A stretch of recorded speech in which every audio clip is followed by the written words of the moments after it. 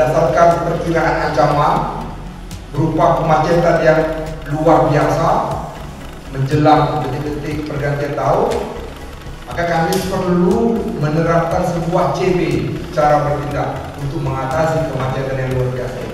Nah, CB yang kami sepakati adalah menutup Malioboro untuk kendaraan bermotor. Ya, dari mulai sore sampai dengan nanti uh, malam pergantian tahun baru kita buka kembali.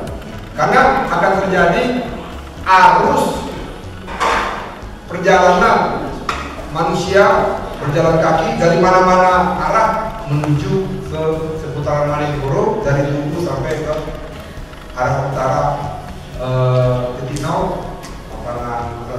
Jadi sebenarnya itu bukan CB kita dalam rangka Pak Presiden datang,